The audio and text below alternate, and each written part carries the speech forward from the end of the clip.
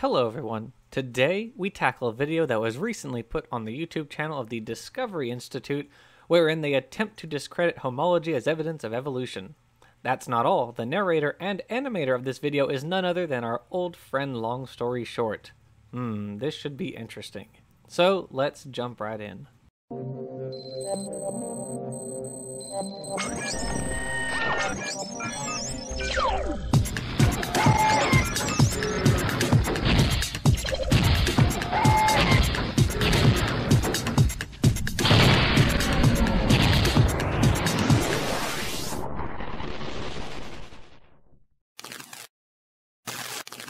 If you don't remember, Long Story Short made a video on his own channel about the Cambrian explosion wherein he tried to argue that it was a problem for Darwin and still a problem for evolution today. We've addressed this in a two-part series on Darwin's confidence, links in the down part.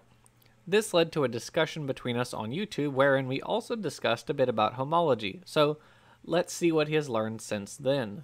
Careful observers for a long time have noticed that very different creatures have very similar bits. These sorts of ideas date all the way back to Aristotle. If we fast forward to the 1800s, anatomist Sir Richard Owen coined a term for these observations, homology. Take a look at this guy. He's got an arm that starts with one bone, followed by two bones, and then lots of tiny bones for the wrist and fingers and whatnot. Great for grabbing stuff and high-fiving. Whales and dogs have basically the same structure, but they're not so good at those things.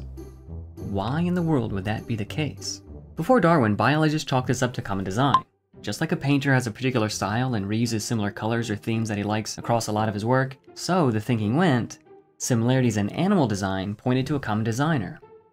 A few years later, along comes Darwin and he figured that these structural similarities were important evidence for his theory of evolution. So, rather than a common designer, he instead credited common ancestry. But which is the proper explanation for these obvious similarities? So far, so good. I would add that the significance of homology with respect to evolution and common ancestry isn't merely noticing some similarities between different organisms. The differences also matter. In the common example that LSS uses, we can see many differences between tetrapod limbs. For example, in birds, the digits, carpals, and metacarpals are fused, forming the carpometacarpus. This is a trait that is only shared by birds. When we compare the limb structure of tetrapods with the appendages of other vertebrates, we see what makes the structure of tetrapod limbs unique. The flippers of whales and sharks look similar on the outside and they perform similar tasks, but the internal structures are very different, that of whales being more similar to us than to sharks. This is just one reason how we know that whales are tetrapods. In fact, as far back as the late 1800s, naturalists like Ernst Haeckel recognized that whales are closely related to hoofed mammals.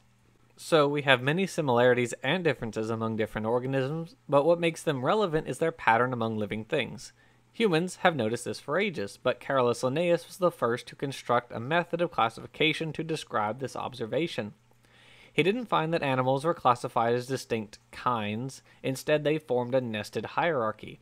No one knew why life was organized this way. This is where Darwin came in. The distribution of organismal traits forming a nested hierarchy wherein each group has its own unique set of traits that are shared by its members, is exactly what is expected from evolution and common ancestry. This is why Darwin used these traits that were labeled homologous as evidence for common descent. Basically, with his method of taxonomy, Linnaeus constructed an evolutionary tree without even knowing what it was. Please note the emphasis on the nested hierarchical pattern of these traits, which will become important later on. Alright, LSS was about to answer what the proper explanation for homology is. Let's see what he has to say. Interbiologist Tim Berra. Guys, guys, guys, I've got a really good illustration. It'll totally put this question to bed. If you look at a 1953 Corvette and compare it to the latest model, only the most general resemblances are evident. But if you compare 53 and 54 side by side and so on, the descent with modification is overwhelmingly obvious. The evidence is so solid and comprehensive that it can't be denied by reasonable people. In using this analogy, Dr. Berra actually demonstrates precisely the opposite of what he intended. Here's why. A succession of even very similar forms doesn't demand common descent. It could, in this case it does, instead point to a common designer. These guys, the engineers at Chevy. For a start, the way LSS frames Dr. Berra's analogy is quite misleading, making it seem as though the Corvette analogy was specifically intended as an argument for why homology is best explained by common descent and not by common design. Instead, Bera used it in his 1990 book to get across the idea of how successive, slightly different forms, as seen in the fossil record of human evolution, eventually lead to quite different appearances. If you compare a 1953 Corvette to the latest model, then there will be a huge number of differences. But if you compare a 1953 model to a 1954 model, then the 1954 model to a 1955 model, and so on, you'd see a much more gradual change in features as a result of descent with modification, which is what we see in the hominid fossil record.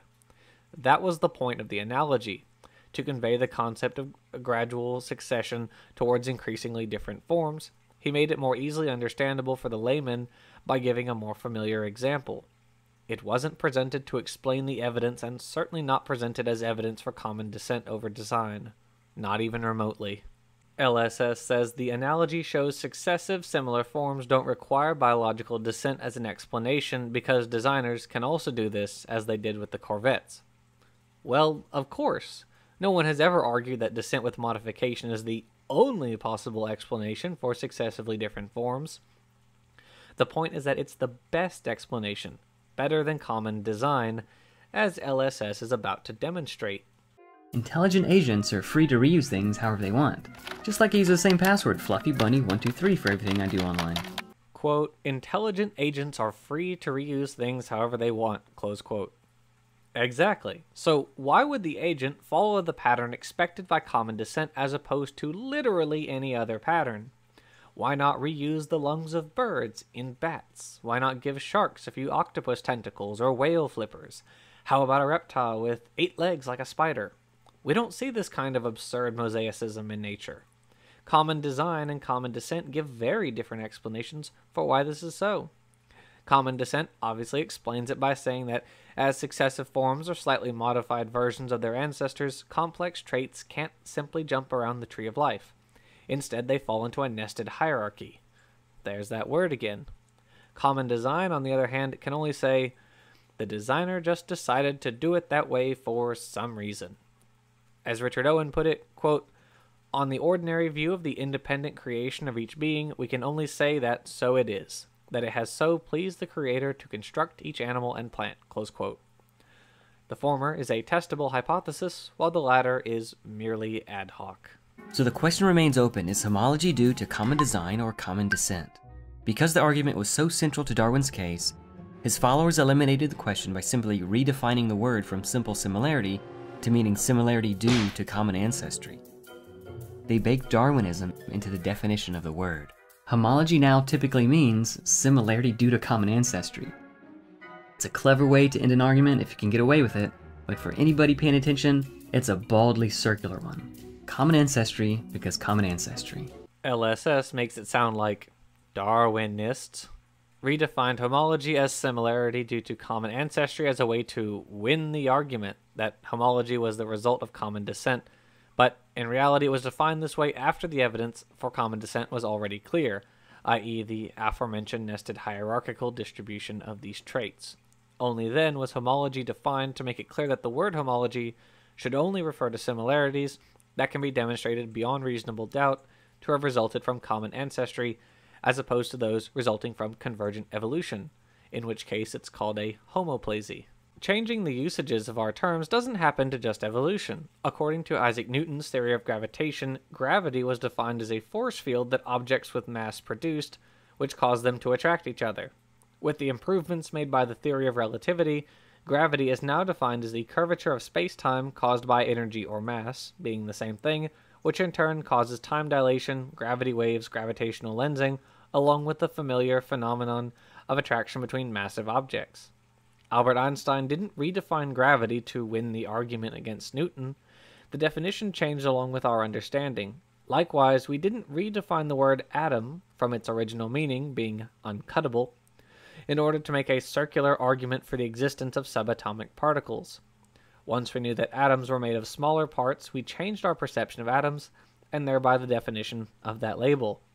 This is done on the basis of evidence, not semantic tricks. We gotta flag all the play, circular reasoning, illegal use of logic, five yard penalty, repeat the fourth grade. Oh, come on, no serious biologist could possibly make that mistake. Nobody defines homology that way and then uses it as evidence for evolution. LSS has a person saying no one could make the mistake of saying homology is similarity due to common ancestry, and then uses it as evidence of evolution while citing the Talk Origins page that debunks his argument in the bottom left of the screen. Come on, people couldn't possibly be that. No. The circular argumentation is still regularly used in high school, even college level textbooks, and many a Hello, everyone. YouTube video.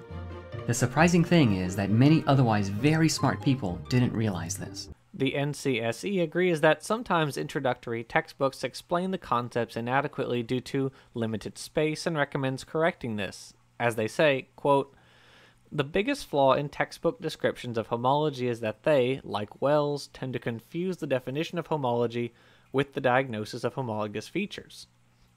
Textbooks need to state explicitly that homologies are similarities seen in the biological world that are best explained as being due to common descent. They should then explain how homologous structures are diagnosed by their similar structure and position, biochemical basis, developmental path, and so on.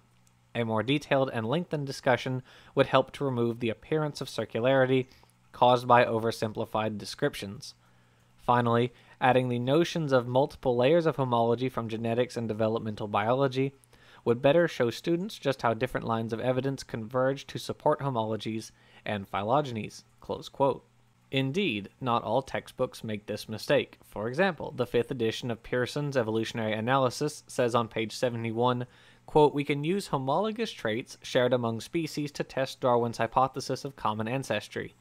We will show the logic using evolutionary novelties shared among imaginary snail species derived with modification from a single lineage. In the hypothetical example given in this figure, we see how evolution and several rounds of speciation would produce species whose traits are shared in a nested pattern, because each trait evolved in a common ancestor of some but not all of these snails. Further on, the textbook reads, quote, Our hypothetical snail demonstrates that the theory of common descent with modification from common ancestors makes a prediction.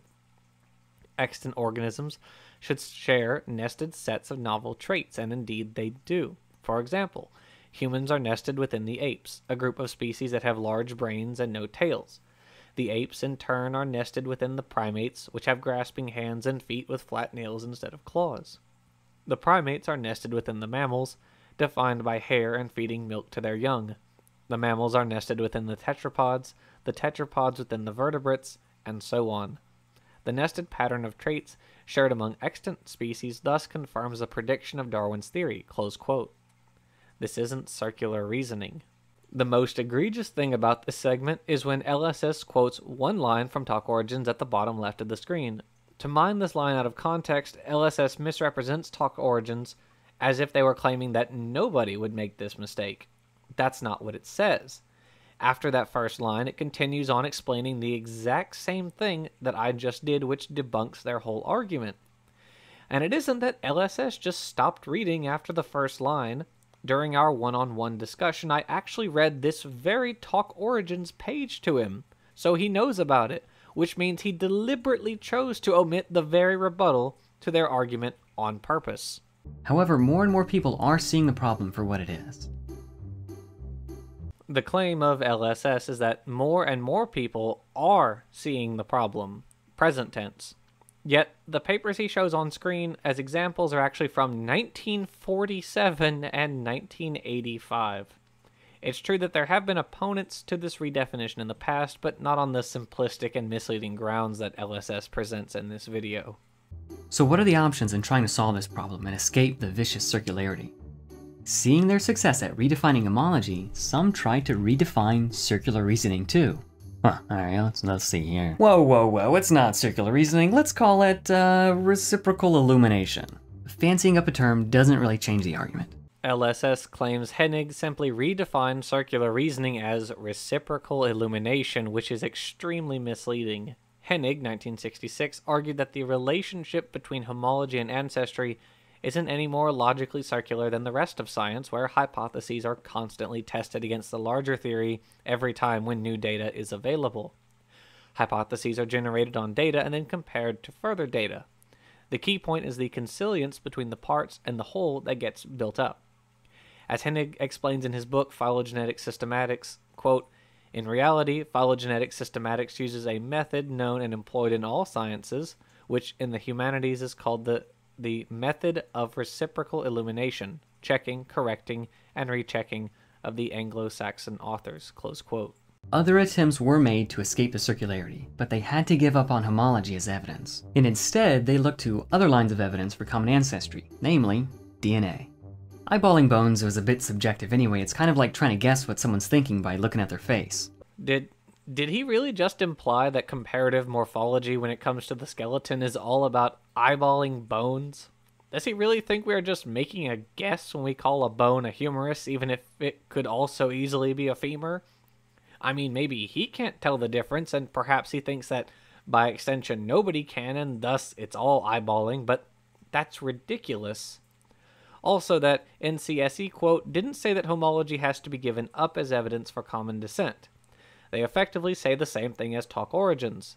Homology isn't evidence for common descent in the sense that we simply assert traits X, Y, and Z are homologous, therefore common descent.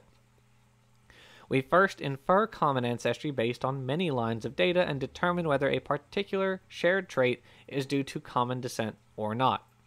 Only then is the homology label applied. The consistency of the evidence leading to the label is what is being referred to when we say homology is evidence of common ancestry. If Darwinism is true, we should be able to construct a reasonably consistent family tree pretty much no matter what genes we compare. But that's far from the case. In reality, using genes like cytochrome C as evidence for common ancestry is just a good example of molecular cherry picking. Depending on what genes are used, biologists will come up with wildly different ancestry and contradictory trees of life. Comparing different animals' cytochrome B genes, scientists found cats and whales cavorting in the primate club, kicking poor little cute little tarsiers out into the cold, frogs and birds and fish carrying on together in their own strange little group, and even sea urchins masquerading as chordates. It's madness! Molecular evidence, as it turns out, does very little to support homology. It's basically a big, wet blanket for the hopeful biologists who study the field. First, it's clear that he doesn't read his own citations. From citing the third paper, which is a news article from 1999, he claimed that from comparing the cytochrome B gene, we got a primate tree that includes cats and whales but excludes tarsiers, and one tree that had frogs, fish, and birds in one group and sea urchins as chordates. However, only the former tree was constructed using cytochrome B, while the latter was constructed from all mitochondrial protein coding genes. And that's clear when you read the parts that he highlights or just the caption of the figure alone. Furthermore, he said that, quote, if Darwinism is true, we should be able to construct reasonably consistent family trees pretty much no matter what genes we compare, but that's far from the case. The words reasonably consistent and pretty much no matter are doing some heavy lifting here. Evolution certainly doesn't predict that every single phylogenetic tree inferred from every single individual gene will give the exact same result. So contrasting one correct result, cytochrome C, against one incorrect result, cytochrome B, doesn't exactly do the subject justice. It reminds me of when news shows present a balanced discussion between one expert and one crackpot. A 50 50 split is not representative of reality. Evolution predicts that neutrally evolving DNA sequences will record common ancestry, not necessarily individual genes. Genes are functional sequences by definition, and over the course of evolution, selection can act on them, which disrupts the true phylogenetic signal. There are also other biological phenomena that are known to disrupt phylogenetic trees, like horizontal gene transfer and incomplete lineage sorting. The second paper by Michael Lynch, where he quotes him on the fact that the phylogenetic relationships of animal phyla has been an elusive problem, also states, quote, Given the substantial evolutionary time separating the animal phyla, it is not surprising that single gene analyses yield such discordant results. Under such circumstances, the statistical noise associated with the substitution process leads to a high probability that phylogenetic analyses based on different molecules will yield different topologies. so that inferences based on single genes can potentially be very misleading, leaving aside for now the additional problem of orthology. His own citations refute his claim that from Darwinism we should expect consistent family trees no matter what gene we compare. Not to mention that most of his citations are grossly outdated. The previous is from 1998. His fourth citation, Congruence Between Molecular and Morphological Phylogenies, is from November 1993, almost 27 years ago. As the paper itself says, quote, Molecular phylogenetics is still in its infancy, generally with little to offer beyond trees, often mutually contradictory, based on partial rRNA sequences. We believe that these problems are soluble by the molecular approach, but that the effort necessary to achieve decisive solutions will be comparable to that put into the hominids, with the added dimension of sampling problems. A lot has happened since then. We now have a lot more data, and as stated previously, we also know about horizontal gene transfer and incomplete lineage sorting. In fact, the first paper from 2009, the most recent one that he showcased, titled Gene Tree Discordance Phylogenetic Inference and the Multispecies Coalescent, is all about incomplete lineage sorting. It also explains how this can be taken into account when trying to resolve close species relationships. Yes, close species relationships. Creationists going on about their created kinds wouldn't have a problem with these. Even so, evolutionists are fully aware of incomplete lineage sorting, which is just one reason why gene trees don't always correspond to the species tree. We know these phenomena are real because we can observe them today, so it's not unexpected or some kind of evidence against common ancestry when we see what appear to be their effects. Biology is messy, and no one is so naive as to expect the job of reconstructing accurate phylogenies to be easy, except creationists apparently. It's also worth noting that we shouldn't just be considering whether any given tree is correct or incorrect. We should consider how close or far away from being correct it is. If 10 different trees are all 10% incorrect in different ways, then that's very different from 10 trees all being 100% incorrect. There will always be some statistical variation to account for. This is a hugely complicated subject with a massive body of literature, but LSS doesn't discuss any of it. He points to a single instance of incongruence and then hand waves about how molecular phylogenetics is all basically useless. However, when we look up the original 1998 paper by Andrews et al., from which the weird primate tree based on cytochrome B claim comes from, we can see the figure that includes the statistical certainty for each branch. This is the maximum likelihood tree based on 10 mammalian cytochrome B nucleotide sequences. Some branches show high certainty, such as the one given for humans, colobus monkeys, and squirrel monkeys, has a near 100% likelihood, and the one for the bush baby and loris has an 84.9% likelihood. Both of these relationships match the accepted phylogeny. However, for the other relationships that deviate from this, their certainties are rather low, lower than 25%, meaning these deviations from the accepted phylogeny are not well supported. Furthermore, this tree was just the one with the maximum likelihood, meaning the branching order of this particular tree gives the highest average likelihood among all possible trees that can account for the data that was used. Bear in mind that with even just 10 species, there are over 34 million possible trees you can reconstruct. So finding the correct one isn't easy to say the least. But that's not all. Even if you determine the maximum likelihood tree, there often are still other possible trees with only a slightly lower likelihood. And indeed, Andrews et al. found 1,731 other trees for which the likelihoods aren't significantly different from that of the maximum likelihood tree. And these trees included the accepted phylogeny for these 10 mammals. In other words, the data from cytochrome B does not significantly support this discordant tree that LSS referenced in favor of the accepted phylogeny for these 10 mammals. For these and other reasons, Andrews et al. concluded, quote, only two groupings of species are clearly resolved by the cytochrome B data. These are the simian primates and the lorisoid strepsirrhine primates. The branching order of the other taxa, including Tarsius bancanus and Lemur catta, cannot be determined from the data. Once again, completely refuting the claim that all genes should always show the same tree, and it blows the cytochrome B argument completely out of the water. It's quite telling that, with a single exception that isn't actually discussed in the video, all of the video's academic sources were published prior to the year 2000, when Jonathan Wells' Icons of Evolution book was published. Indeed, the video is basically a heavily paraphrased reading of Chapter 4 of Wells' 20 year old book, complete with the same citations. Now, to be fair, doing away with homology doesn't necessarily disprove Darwinism, but it is illustrative of the kind of lazy thinking that's common among many Darwinists. Bad arguments can simply get passed on uncritically.